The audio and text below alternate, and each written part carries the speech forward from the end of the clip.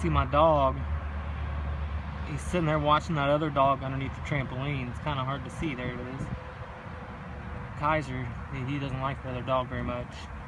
He's got a uh, shock collar on, so he can't really cross the line. Comes close, but he doesn't. The other dog, it's just not very smart. So sometimes it crosses the line. And Kyzer, what we call tags it, basically runs full speed and just massacres this dog. And then like grabs it by the neck and throws it in there and throws it back across the line.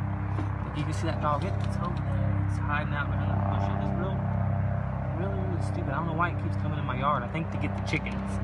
I think it's coming in my yard to get the chickens. But I'm gonna have a video. I'm gonna catch this happen one time. So it's gonna be pretty cool. Kyzer, he'll just sit there.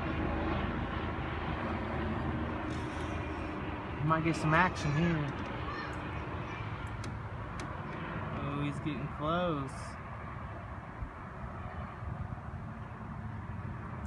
Marking this little spot.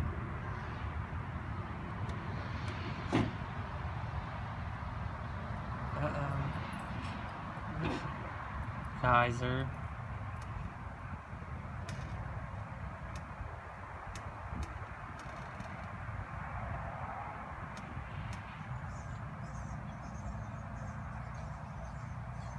Kyzer.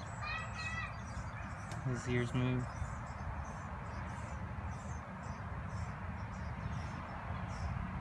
Kyzer, come on, get him.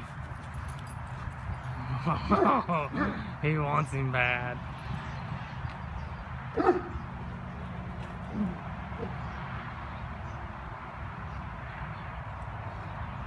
Kyzer's a whole lot bigger than you, dude.